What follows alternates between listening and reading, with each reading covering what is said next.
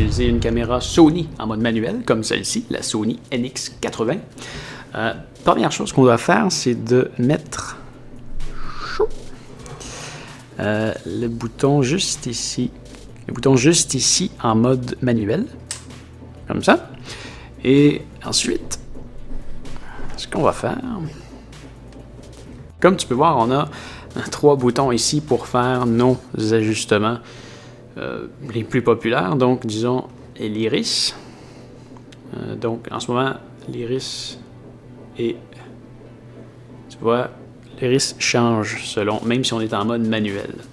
Alors, ce que je vais faire, c'est que je vais appuyer sur l'iris pour l'allumer. Donc, tu vois, dès qu'il y a un carré blanc autour, ça veut dire qu'on est en mode manuel. Et ensuite, à l'aide de la petite roulette ici, on peut venir faire les modifications qu'on veut. Et là, il n'y a rien qui va changer. Même si je viens mettre ma main devant, rien, rien, rien qui bouge, ça reste comme ça.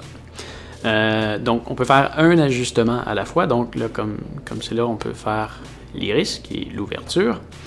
Euh, on peut faire le gain en ISO, qui est présentement à moins 3 décibels. Donc là, si je joue avec, je peux augmenter le gain en ISO jusqu'à 33 décibels. Ensuite, on peut aussi jouer avec la vitesse d'obturation, qui est le bouton ici Shutter Speed.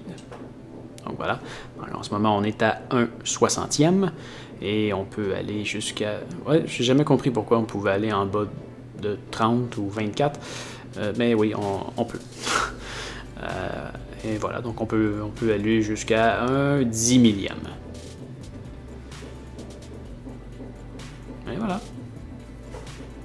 Euh, enfin, euh, tu pourrais faire aussi des ajustements sur le white balance, euh, qui actuellement est en mode automatique parce qu'il n'est pas activé. Donc si j'appuie dessus ici, tu vois ici on a un B qui est apparu. ça c'est un petit peu plus compliqué. Donc je t'ai fait une vidéo juste ici qui va t'expliquer comment ajuster ton white balance avec une feuille blanche. Ben alors voilà, ça fait le tour pour aujourd'hui. J'espère que ça va t'avoir aidé. Si oui, s'il te plaît, donne-moi un pouce en l'air. Si tu as des questions à propos de n'importe quel sujet, tu peux m'écrire dans les commentaires juste en dessous de la vidéo. Ça va me faire plaisir de te répondre. Et je vais peut-être même faire une vidéo juste pour toi. Alors, oublie pas de t'abonner. Et ce que tu vois en arrière, c'est ma chaîne principale. Viens jeter un coup d'œil à ça. Tu devrais aimer ça. Salut!